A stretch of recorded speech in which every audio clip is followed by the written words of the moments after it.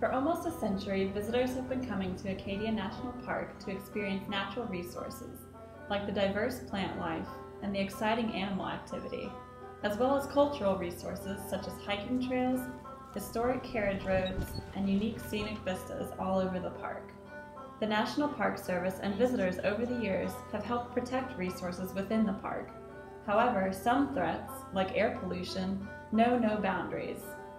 The idea that Acadia is not pristine may come as a surprise, but located along the mid-coast of Maine, Acadia National Park is downwind from large urban and industrial areas in states to the south and west.